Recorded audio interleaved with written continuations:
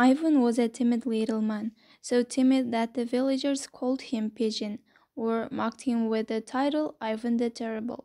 Every night Ivan stopped at the tavern, which was on the edge of the village cemetery. Ivan never crossed the cemetery to get to his lonely shack on the other side.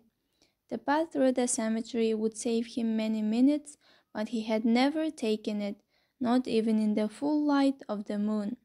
Late one winter's night, when bitter wind and snow beat against the tavern, the customers took up their familiar mockery. Ivan's sickly protest only fed their tones, and they jeered cruelly when the young Cossack lieutenant flung his horrid challenge at their quarry. You are a pigeon, Ivan. You'll walk all around the cemetery in this cold, but today you dare not cross the cemetery. Ivan murmured. The cemetery is nothing to cross, Lieutenant. It's nothing but earth, like all the other earth. The lieutenant cried, A challenge then. Cross the cemetery tonight, Ivan, and I'll give you five rubles, five gold rubles. Perhaps it was the vodka, perhaps it was the temptation of the five gold rubles. No one ever knew why Ivan, moistening his lips, said suddenly, Yes, Lieutenant, I'll cross the cemetery. The tavern echoed with their disbelief. The lieutenant winked to the men and unbuckled his saber.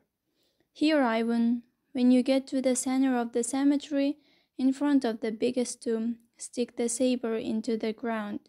In the morning we shall go there, and if the saber is in the ground, five gold rubles to you. Ivan took the saber. The men drank a toast to Ivan the Terrible. They roared with laughter. The wind howled around Ivan as he closed the door of the tavern behind him. The cold was knife sharp. He buttoned his long coat and crossed the dirt road.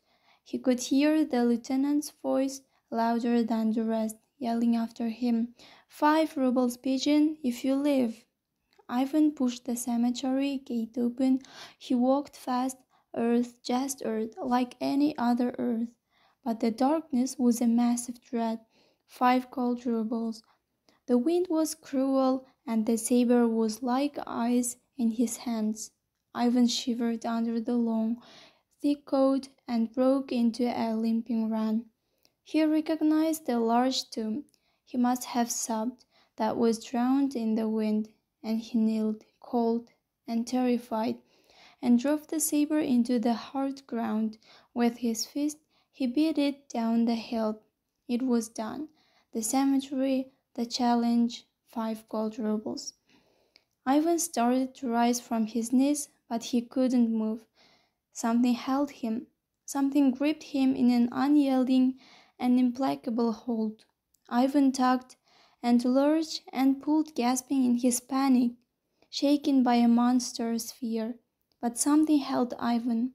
He cried out in terror, then made senseless gurgling noises. They found Ivan next morning on the ground in front of the tomb that was in the center of the cemetery. His face wasn't that of a frozen man's, but of a man killed by some nameless horror.